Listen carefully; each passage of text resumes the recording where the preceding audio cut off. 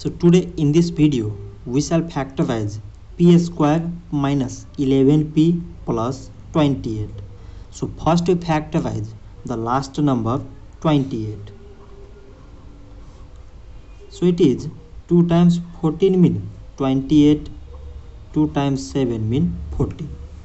So now we got 2, 2 and 7 and by multiplying among these numbers we need 11. So 2 times 2 mean 4 and this 7. So 4 plus 7 means 11 but here is minus.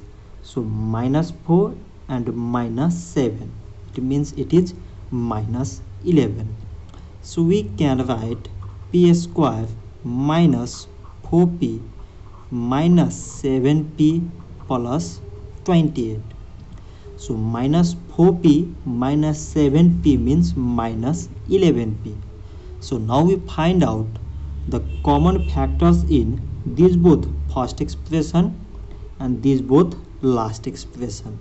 So in the first the common here is p.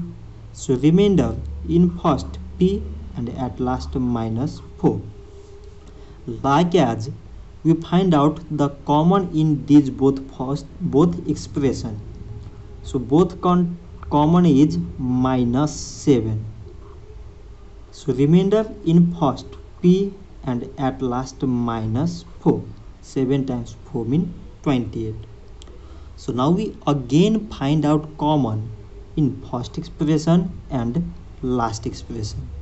So both contain p minus 4 so it is p minus 4 common and the remainder in the first p and at last minus 7 so p minus 4 and p minus 7 are required factors.